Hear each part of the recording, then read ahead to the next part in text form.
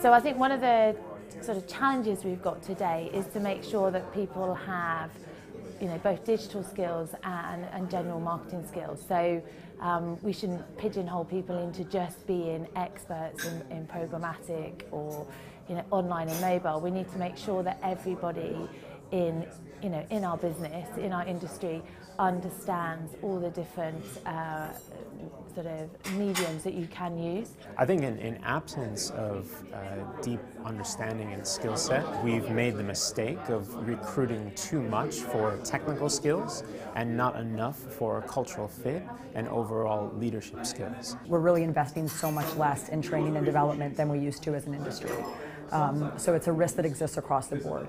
I think how to keep it from um, becoming worse than it already is is to just make sure that if you're an agency that you're over-indexing on training and development and you're not cutting training and development during a bad quarter. Uh, one of the big risks I think that we're going to see is as we get into more technical jobs, uh, a lot of, I think, individuals will become really proficient, absolutely excellent experts in, in their field. But what that doesn't do is help to build those leadership skills.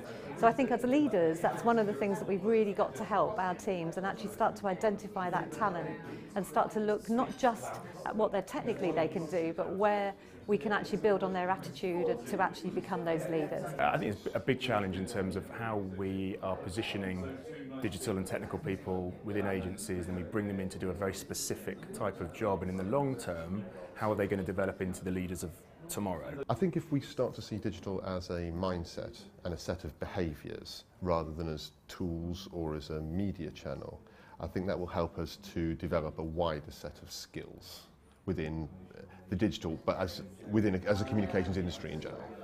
I think that a renaissance type person who genuinely is equally good at understanding technology and data and loves those kind of things, as well as someone who is conceptual and creative and also is a brilliant leader and presenter.